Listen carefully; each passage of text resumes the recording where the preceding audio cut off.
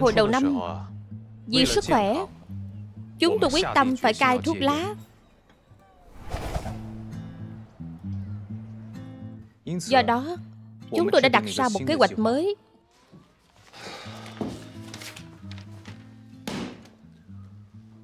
Kể từ bây giờ Ai hút thuốc bị phát hiện Sẽ phạt 3.000 tỷ Không ngoại lệ, không lý do lý trấu Đồng ý không?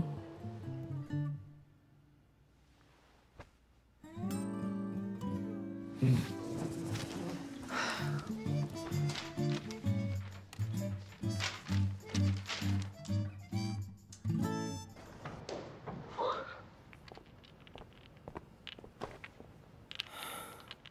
đi chạy vài vòng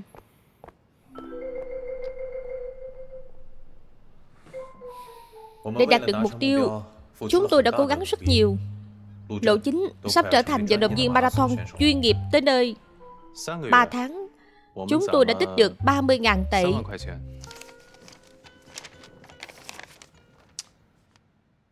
Cảm ơn các anh. Nên gọi là chú nhỉ Anh, anh, anh. Chúng em sẽ dùng tiền các anh gửi đến Để mua cặp sách mới Đồ dùng học tập mới.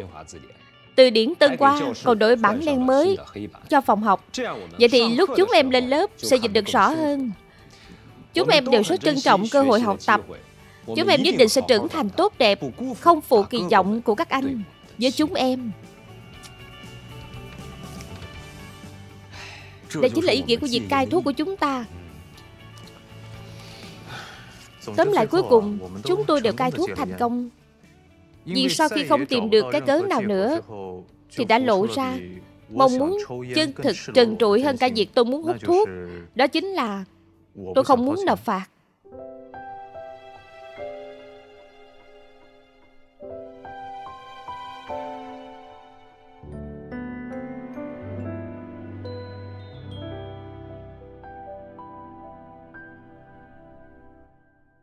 Tập 3 Diện cớ và thật lòng.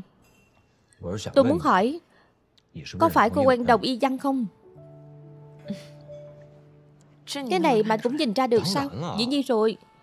Lần trước được gặp cô ấy ở buổi tiệc Tí là không có trao đổi phương thức liên lạc. Tôi cứ nghĩ mãi, Không biết làm sao mới tìm được cô ấy. Không ngờ lại thấy trong khoảnh khắc quy chat của cô, Hai người thân lắm sao? Ừ. Vậy cô cho tôi biết số của cô ấy được không? Được. Để tôi về hỏi cậu ấy đã. Tốt quá rồi.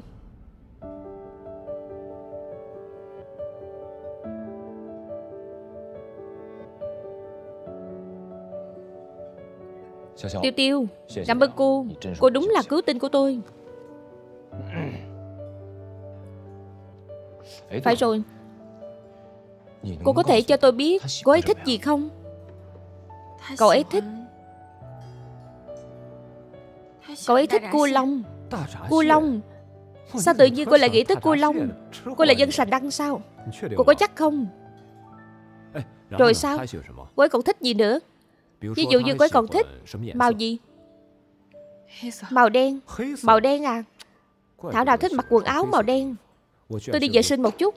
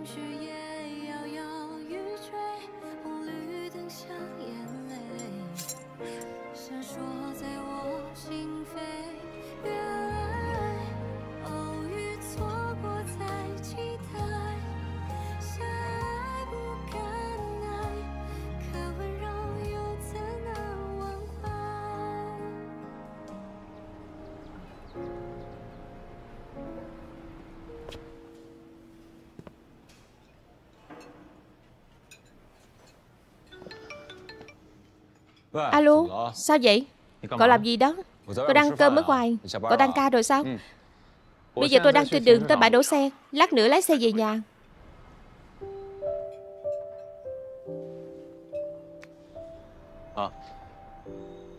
Cuộc họp của cậu khá lắm. Đây đâu phải phong cách của cậu. Sao cậu lại bắt đầu báo cáo công việc vậy? Thì nói sơ sơ với cậu thôi. Được tôi biết rồi. Tôi đang đi chung với bạn Không nói dông dài nữa. Đứng yên Đợi một chút. Sao cậu biết tôi đang đi? Tôi làm anh em với cậu suốt 20 năm. Nên dù cậu có ở đâu tôi cũng có từng giao cách cảm với cậu. Ở đâu cũng không thể thoát khỏi thiên lý nhãn của tôi.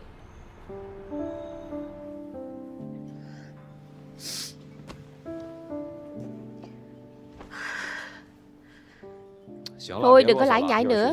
Lát nữa đến nhà cậu gặp cậu. Được rồi lát gặp. Tạm biệt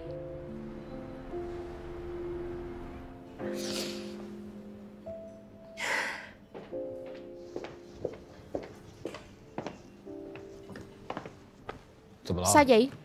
Vô tình làm dở thôi. Tay cũng không sao chứ. Không sao.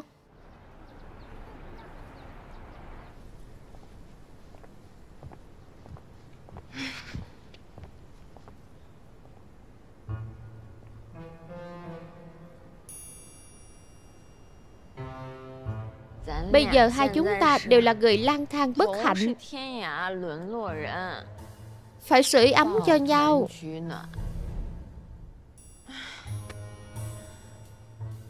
Mất mặt quá đi.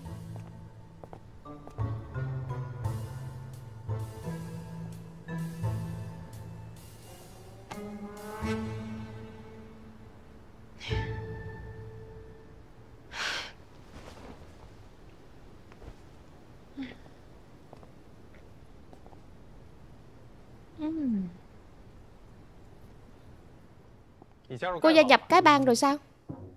Ai Cô đó. Chủ viên Diệp. Sao lúc nào cũng xuất quỷ nhập thần vậy? Tôi đi ngang qua. Nhìn thấy ăn mày quen mắt Nhìn kỹ lại thì Tôi có quen thật. Nói sao có lẽ anh không tin? Cái khăn hoàng này Là của tôi. Tôi hiểu quy tắc mà Ai nhặt được trước thì là của người đó. Cái này vốn là của tôi. Cái hôm ăn tiệc Tôi làm rơi nó ở đây.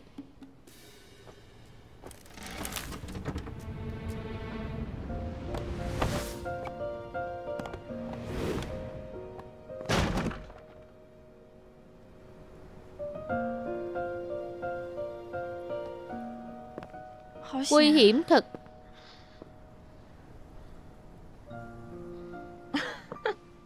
Cô cười cái gì?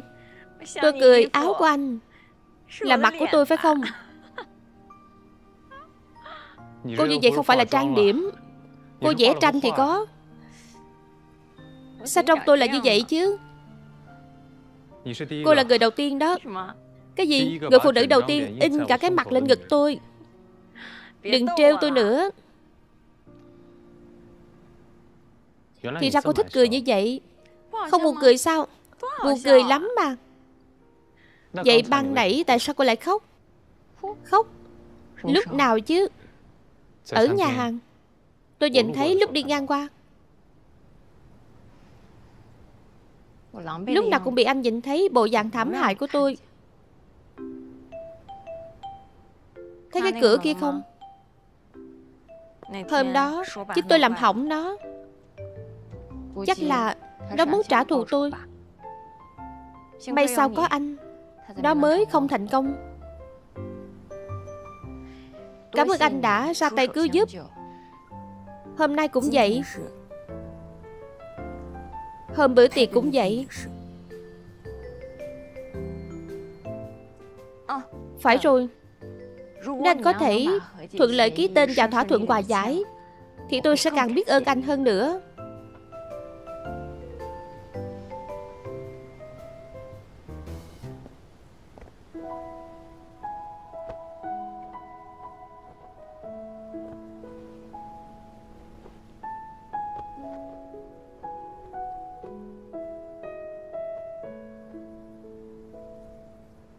Được rồi.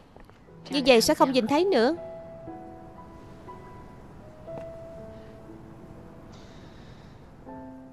Cô đúng là một người kỳ quặc.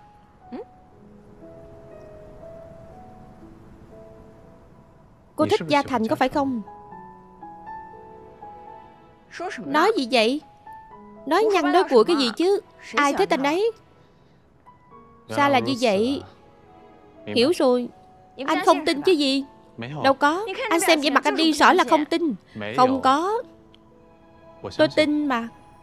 Vậy mới đúng chứ. Giữa con người với nhau Phải tràn ngập niềm tin. Tôi tin là anh tin tôi. Anh đừng có phụ lòng tin của tôi.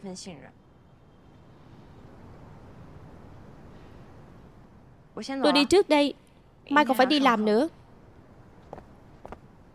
Phải rồi Ký thỏa thuận hòa giải Thì tôi sẽ tin tưởng anh hơn.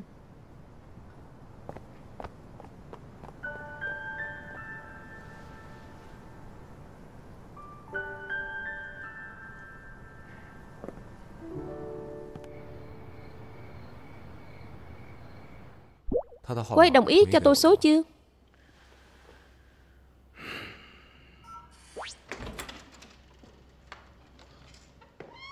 Sao cậu lại ở đây? Lúc nãy tôi nói đến nhà cậu còn gì? Sao đến nhà tôi lại không thay giày? Muộn vậy rồi cậu đi đâu vậy? Không phải nói về thẳng nhà sao? Cái khăn quàng này ở đâu ra?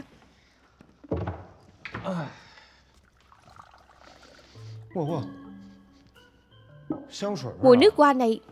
Mùi nước hoa này quen quá. Sao tự nhiên tôi lại không nhớ ra? Không nhớ ra thì đừng có nhớ. Rốt cuộc cậu đã đi đâu Thay giày trước đi. Tôi chợt nghĩ ra một chủ đề. Những người mẫu từng gian dội một thời Bây giờ họ nên đi đâu về đâu? Cậu thấy sao? Xem ra Cậu muốn biết họ đang làm gì. Không Tôi đang hỏi cậu chủ đề như vậy thôi. Được đó. Có thể phỏng vấn những sư mẫu đã kết hôn sinh con. Phỏng vấn tình hình của họ gần đây Có thể đặt tiếp là Cuộc đời thứ hai của họ dưới đôi giày cao gót. Cậu xem tôi mở miệng là có ý tưởng ngay. Ý tưởng khá đó Nhưng mà không thể tìm người mẫu đã kết hôn. Không thì không phỏng vấn được. Xem ra cậu nhắm trúng ai đó rồi. Nói đi nhắm trúng ai vậy? Việc gì tới cậu?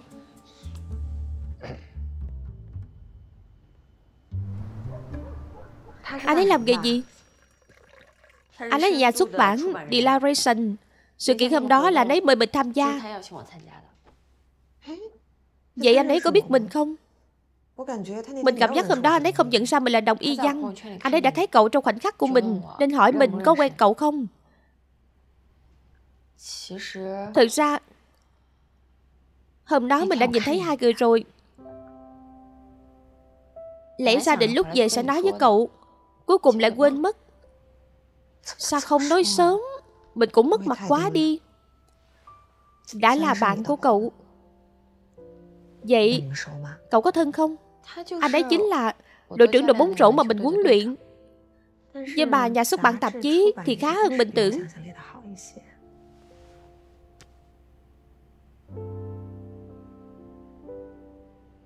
Vậy Cậu có cân nhắc anh ấy không Tuy anh ấy có đúng gu mình thích, Nhưng mà cậu cũng biết tiêu chuẩn của mình mà. Thời nay làm tạp chí chẳng kiếm được mấy đồng.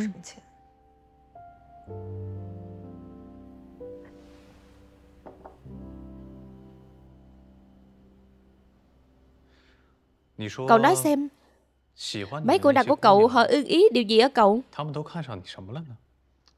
Cậu nói xem. Đúng vậy. Giàu có quả là một điểm cộng rất quan trọng đây, cái gì đây? Mặt người sao? Cậu không giới thiệu với tôi à?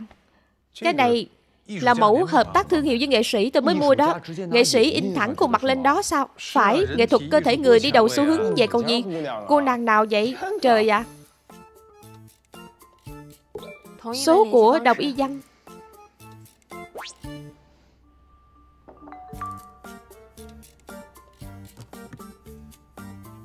Chủ động phết.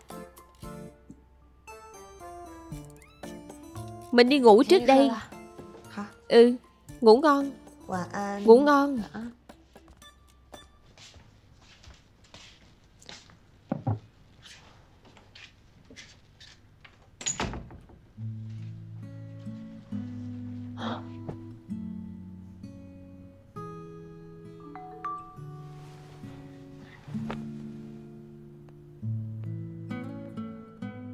Tiêu Tiêu Cảm ơn cô đã giúp. Hôm nào đó đãi cô ăn cơm. Cô thích Gia Thành phải không? Tuyệt đối không thể để Gia Thành biết. Cái gã diệt hàm chết tiệt này Nguy hiểm quá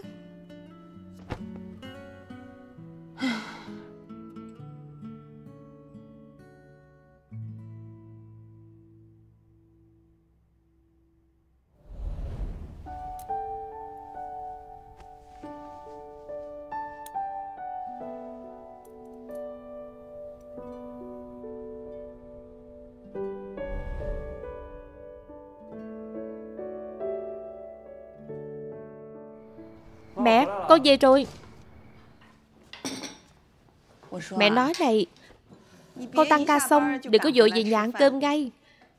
Sang ngoài chơi với đám dịp hàm nhiều hơn đi. Như vậy mới có cơ hội làm quen với con gái. Nhưng mà con nghĩ đến mấy chuyện này làm gì? Con già đầu rồi Phải tranh thủ đi chứ. Nếu mẹ thực sự muốn tốt cho con Thì hàng ngày nấu cơm cho con nhiều nhiều vào.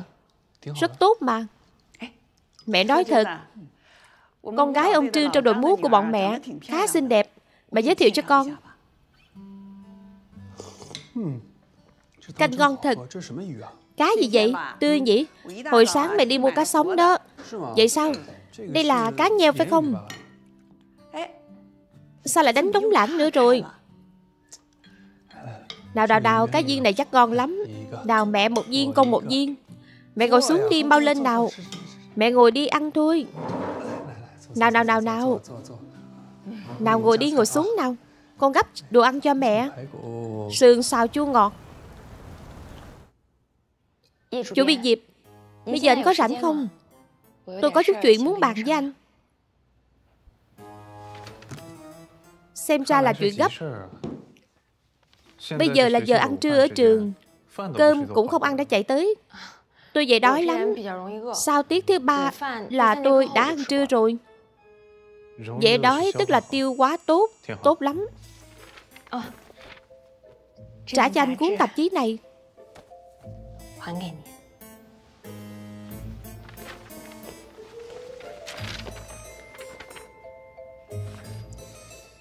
Sao nở thả con tin đi như vậy? Cô nói ký xong thỏa thuận hòa giải mới đưa cho tôi mà. Không phải chuyện hòa giải. Là Suy đoán của anh tối qua. Tôi thừa nhận. Cô là cái bang thật sao? Tôi không đùa với anh. Chủ biên Diệp. Tôi nghiêm túc cầu xin anh. Tuyệt đối đừng cho Gia Thành biết. Anh ấy là người bạn rất quan trọng với tôi. Tôi không muốn phá hỏng tình bạn với chúng tôi.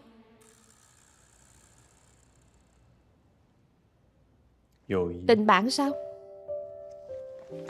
Phải. Tôi đã quyết định xem đó là tình bạn. Diệp Hàm, Gia Thành Họ lại nói không đăng quảng cáo nữa. Lần sau còn gõ cửa trước khi vào có được không? Lỡ tôi đang làm chuyện gì đó bất tiện Ở trong này thì sao? Cậu với cô ấy thì có thể làm chuyện bất tiện gì chứ? Vừa nhìn sau lưng là biết nghe Tiêu Tiêu rồi. Tiêu Tiêu. Gia Thành Nào cậu xem trước đã Dạo này hai người thân nhau lắm sao? Có phải hai người Đang lén bàn chuyện làm ăn không? Chuyện làm ăn thì có gì phải bàn? Tại sao không thể là hẹn hò yêu đương? Tiêu tiêu không để mắt tới cậu đâu. Tôi tới để trả cuốn tạp chí mắc lỗi chính tả. Hai anh có chuyện cần bàn phải không? Tôi đi trước. Khoan khoan đã. Chuyện số điện thoại của Y Văn. Cảm ơn cô Chuyện nhỏ thôi. Hai người nói chuyện đi. Tạm biệt. Tạm biệt. Đi cẩn thận. Số di động của cô người mẫu đó Là cô ấy cho cậu biết sao? Phải Hai người họ là bạn thân. Sao vậy? Cái cậu này thật là Thật là cái gì? Sao vậy? Này Anh không cần nói. Tôi biết Tôi rất khờ. Cũng rất ngốc. Vậy tại sao lại sống theo kiểu khờ dại đó?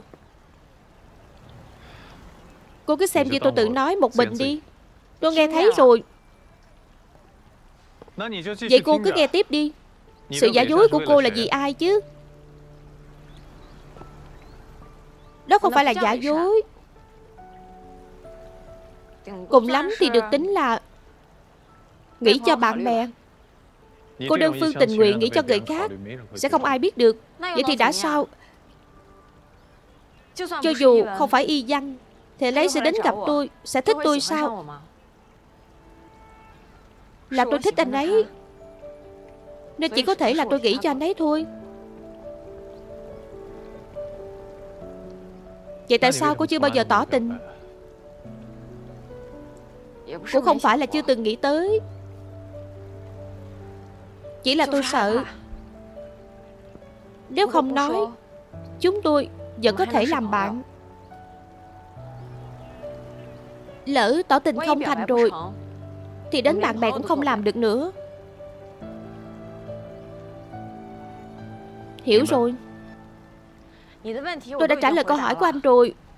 Nếu anh thực sự thấy tôi đáng thương Vậy thì xin anh dành chút thời gian ký thỏa thuận hòa giải đi. Hãy để những chuyện không vui qua hết đi. Được không? Được. Vậy cuối tuần cô mặc khe ba diêm Tới trận đấu bóng rổ tôi cũng sẽ đi. Mặc váy chơi bóng rổ sao? Anh cố tình chơi tôi chứ gì? Cô nghĩ về tôi như vậy là hẹp hòi quá. Sao anh cố chấp với chiếc váy đó quá vậy? Nó có gì đặc biệt chứ? Cô cứ mặc tới là được. Kỳ cục Cô còn muốn hòa giải nữa không?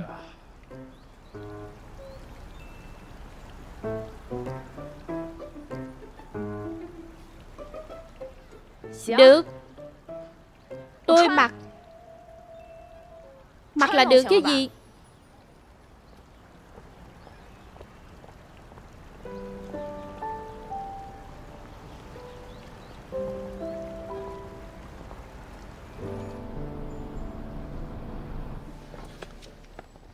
Lịch trình tháng sau đại khái là như vậy Cô nhớ cập nhật trang truyền thông cá nhân Khách hàng thời nay xem trọng mấy cái này lắm Biết rồi Tôi tiễn cô ra ngoài Không cần chị làm việc đi Tôi tự đi Được Các cô có thấy chị Giao Giao hơi giống y văn không Thời trẻ ấy Đúng không Thật này Cô xem thần thái điệu bộ rất có khí phách của chị Văn Tôi đâu dám so bị với chị y văn chứ Chị ấy là sư mẫu đầu tiên bước lên sàn các quốc quốc tế Tôi thấy chị Giao Giao không giống Y Văn chút nào. Y Văn đâu phải tấm gương tốt đẹp gì. Hơn nữa bây giờ lại không có việc làm. Chỉ có thể kiếm tiền lẻ nhờ livestream. Tất nhiên rồi, các cô có xem show diễn không? Giao Giao nhà chúng ta xếp lịch không xuể. Thật sao chị Giao Giao? Vẫn ổn, không đến mức đó. Giỏi thật. Đúng vậy. Đẹp quá đi mất.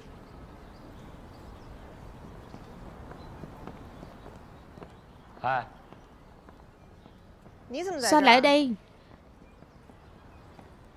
Cô không trả lời tin nhắn của tôi Là muốn tôi đến tìm cô còn gì? Không trả lời chứng tỏ tôi không đếm xỉa gì tới anh. Lát nữa làm gì? Sao? Mời cô ăn một bữa. Sếp từ à Anh làm như vậy với tất cả các cô gái anh từng hôn sao? Đâu có. Tôi chưa từng hấp tấp như vậy. Nhưng mà tôi thì không. Tôi chỉ thấy bầu không khí lúc đó rất tốt. Ra là vậy thì bầu không khí bây giờ cũng tốt mà. Hôm nay tôi thực sự không có tâm trạng Đứng đây đóng phim thực tự với anh. Được rồi tôi tặng quà xong sẽ đi ngay. Ở sau cốp xe tôi. Tôi tìm người yêu với mục đích kết hôn. Năng lực tài chính của anh Không đạt yêu cầu của tôi. Cô không xem thử Sao cô biết được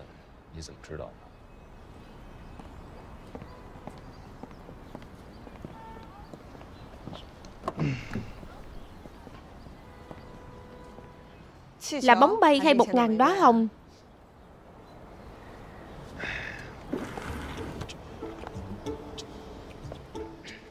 Anh điên sao? Của Hồ Dương Trừng Con nào cũng đủ bốn lạng. Thế nào Năng lực của tôi khá không?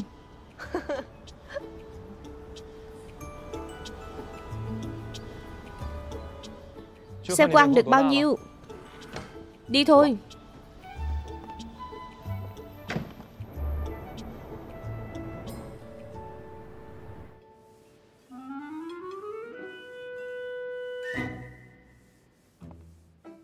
Một cốc mocha gấp đôi sữa, nửa đường.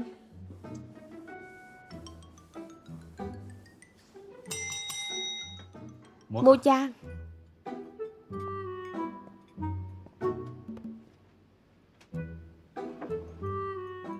Xinh quá nhỉ. Dáng người cũng rất tuyệt. Nhưng mà chẳng liên quan gì đến trai đã có vợ như cậu hết. Cậu kỳ thị trai có vợ chúng tôi phải không? Có vợ thì đã sao? Có vợ không có quyền thưởng thức cái đẹp sao? có nhưng mà cậu đeo nhẫn vô đi. lát nữa coi chừng mất đó. Cậu tưởng tôi cố tình tháo nhẫn phải không? Chứ không thì sao? Cậu phải mở rộng tầm nhìn đi. Lúc rửa cốc, tay của tôi sẽ bị trơn, nhẫn, dễ rơi xuống bồn rửa. Không biết tại sao, tôi chơi với cậu luôn cảm thấy cực kỳ vui vẻ. Tại sao? Có lẽ là nhờ cảm giác thoải mái, do thứ ngoại tộc đã có vợ như cậu mang lại. Dù sao thì có nói gì với cậu cũng không trao đổi thông suốt được. Nhưng có lẽ đây là sức hút lớn nhất ở cậu. Cậu đang khen tôi sao? Xem như vậy đi. Lát nữa nhớ cho tôi nhiều đường vào. Cậu cai thuốc kiểu này có tác dụng gì? Cậu không sợ mắc bệnh tiểu đường sao? Chắc không sao đâu. Sức khỏe có được ở tương lai. Là nhờ cai thuốc. Tôi chỉ tiêu hao trước bằng đường thôi. Rất hợp lý các cậu làm gì vậy? Để tôi ăn tối sao Để cậu ăn cơm. Lát nữa đi ăn cua lông. Cua lông thì bỏ qua. Đi ăn với hứa ngạn đi. Hứa ngạn nói đi ăn bít tết sườn chữ T gì đó. Không tới nữa. Bít tết sườn chữ T sao? Nhà hàng bến Thượng Hải hả? Cũng chỉ có nhà hàng đó thôi. Cậu ấy với Tiểu Khiết toàn đón kỷ niệm ở đó còn gì?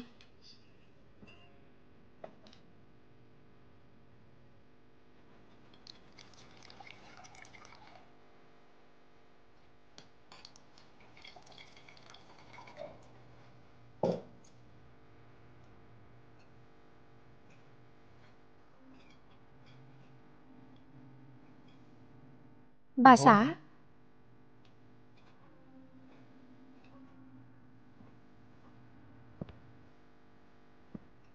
Xin lỗi anh đến muộn. Bà xã Sinh nhật vui vẻ. Cảm ơn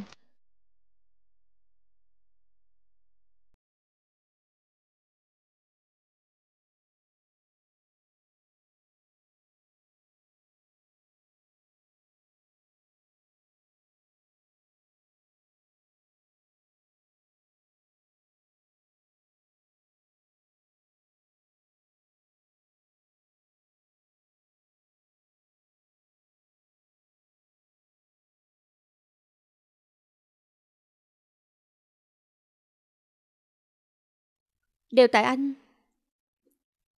Lần nào cũng bắt em đợi. Bây giờ, Đổi lại anh đợi em.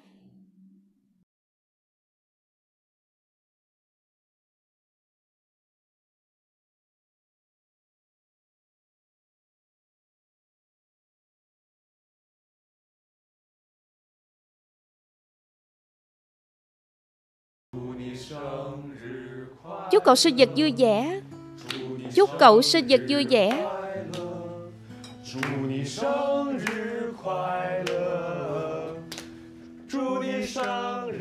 Chúc mừng sinh nhật vui vẻ. Một mình tổ chức sinh nhật cho Tiểu Khiết Mà chẳng gọi thêm bọn tôi. Không có tình nghĩa gì hết. Đúng là không để tình.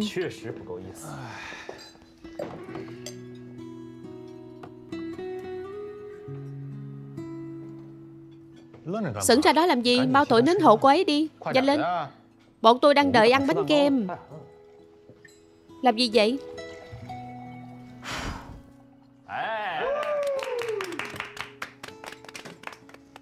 Cảm ơn. Thật ra Bọn tôi muốn mượn cớ chúc mừng sinh nhật tiểu khiết Để đến uống ké cậu ly rượu. Đúng, đừng nghĩ ngợi gì nhiều. Đúng đúng, đừng hiểu lầm. Bọn tôi tới uống rượu thôi Nào cạn ly. Cạn ly là một ly nào Thật ra lần nào cũng có vô dặt cái cớ để uống rượu Nhưng chỉ có tấm lòng chân thành Ẩn giấu trong vô số cái cớ ấy không hề thay đổi Đó chính là Không sao Có chúng tôi ở đây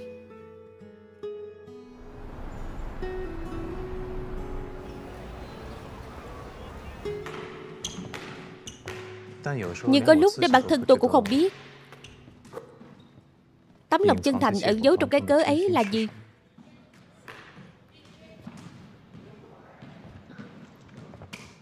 Cậu đến làm gì? Đến sân bóng chắc chắn đi chơi bóng rồi. Chơi bóng rổ à? Nào nào chơi một lát đi. Không Tôi mặc đồ này không hợp cho thể thao. Đây là huấn luyện viên của các cậu. Còn là huấn luyện viên à? Được thôi huấn luyện viên. Vậy cậu nói chúng tôi nghe xem chiến thuật hôm nay là gì. Trước tiên theo đội hình 433 cho tôi. Còn 433 Cậu nói thật tôi nghe đến đây làm gì? Tiền huấn luyện viên của các cậu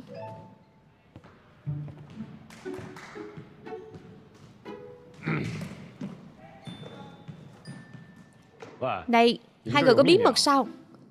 Không Không có. Có bí mật cũng phải đợi Đến khi xong trận đấu hẳn tính. Đi thôi tiêu tiêu.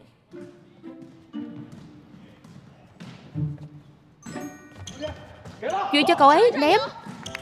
Chuyên chuyên bóng. Ném cho cậu ấy. Bóng hay. Về phòng thủ Về phòng thủ. Giữ bóng. Gia Thành giữ bóng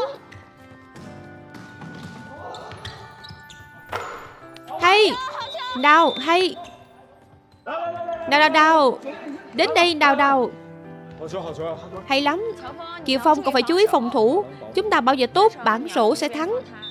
Gia Thành, anh phải đề phòng anh ta từ bên này. Được chẳng là giúp tôi. Nào, một, hai, ba, rồng xanh tức thắng. Lên đào.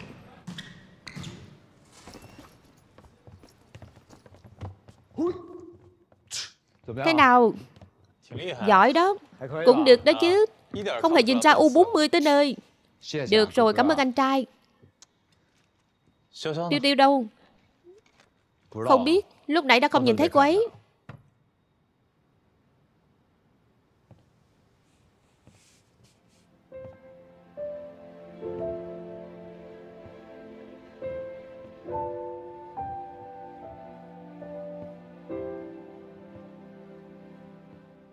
đây là mẫu mới của thu đông năm sau phải không?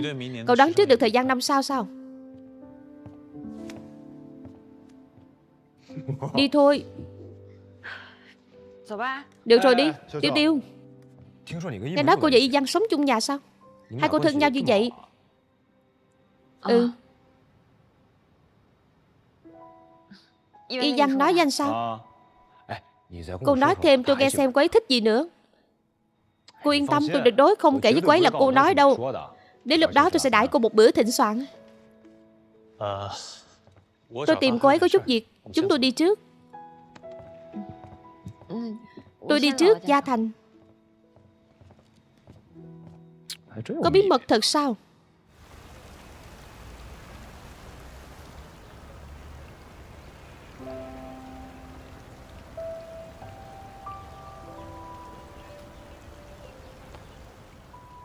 Anh nhìn tôi làm gì? Nhìn cô diễn xuất không tốt lắm. Đối mặt với một người không dành trái tim cho tôi Không cần diễn xuất tốt làm gì? Cô xác định muốn từ bỏ thật sao Tôi vẫn luôn cố gắng từ bỏ. Mùa đông sắp hết rồi. Đến lúc phải buông tay thật rồi. Kha Bê Diêm. Tên của cái váy này. Cô quên rồi sao? Vậy nên người mặc nó không hợp để bi thương. Tôi đã mặc nó theo giao hẹn rồi. Vậy hả? Không giống với ấn tượng của tôi lắm. Chiếc Kabejim anh nói Đã bị tôi phá hỏng rồi. Bây giờ cái tôi đang mặc Là bản của Lý Tiêu Tiêu. Dù thế nào thì tôi cũng đã mặc váy theo giao hẹn Anh mau ký thỏa thuận quà giải đi Thực ra tôi muốn ký thỏa thuận hòa giải từ lâu rồi. Nhưng bây giờ tôi nhận ra điều làm tôi bận lòng nhất Không chỉ chiếc váy này. Vậy thì là gì? Tôi chỉ muốn gặp lại cô một lần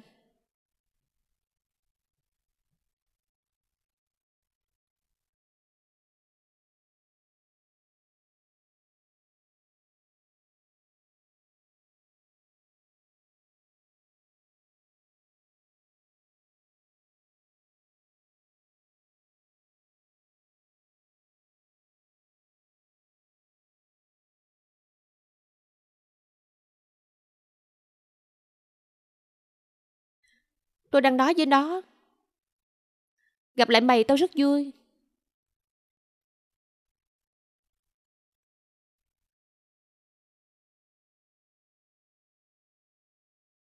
Cô còn muốn quay lại đó không?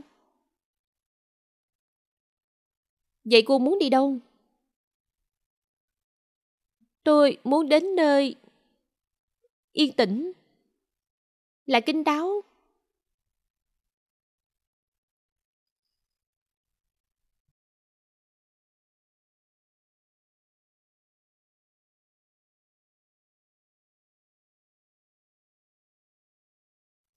Đây là đâu? sàn Cát Quốc. Sàn diện của người mẫu, sân khấu của nhà thiết kế. Chính là nơi y văn làm việc. Cười gì tôi nói không đúng sao? Tôi chưa đến bao giờ, nhưng mà tôi từng thấy rồi. Cũng không biết đi trên này sẽ có cảm giác thế nào. Vậy thì lên đi. Trải nghiệm thử xem. Đi một vòng.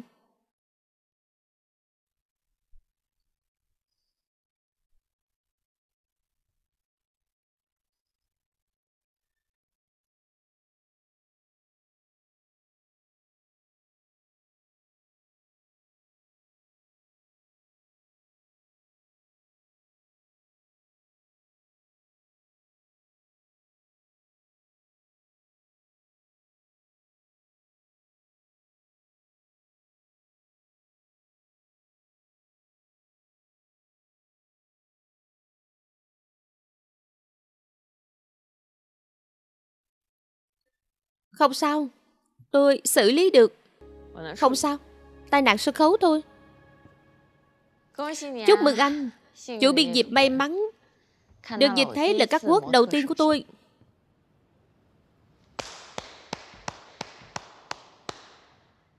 Người mẫu giỏi thật đó. Nếu dưới sân khấu chật kính khán giả Đồng loạt nhìn vào tôi Chắc chắn tôi sẽ không đi được bước nào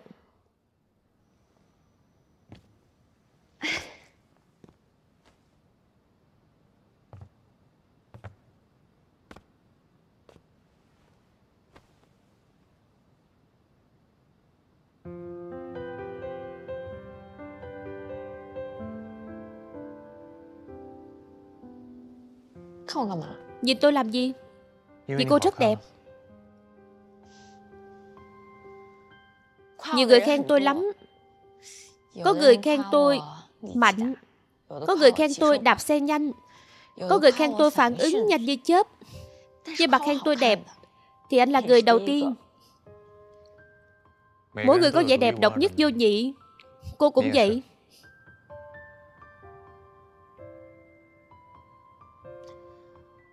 Cô có biết ngày mai trình diễn cái gì không?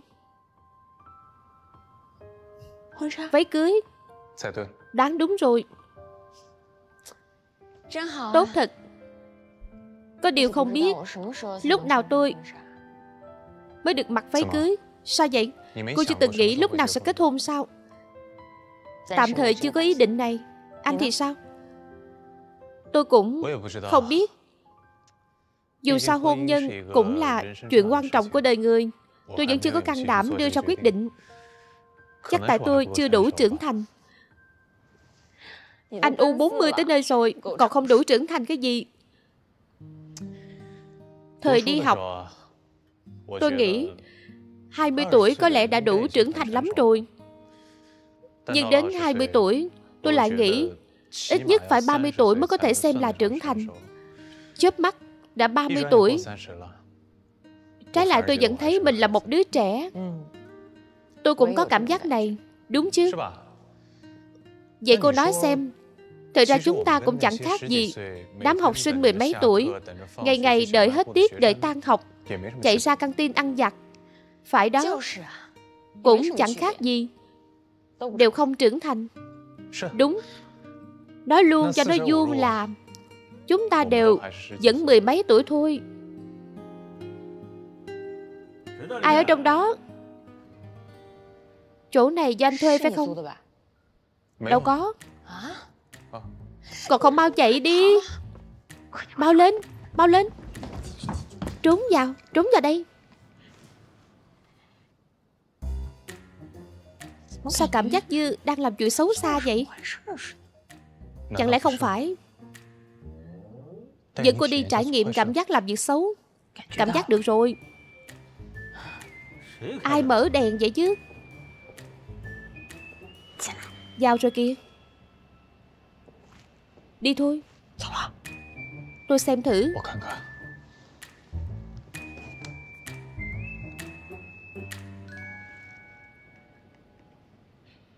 Đi chưa? Chắc là đi rồi.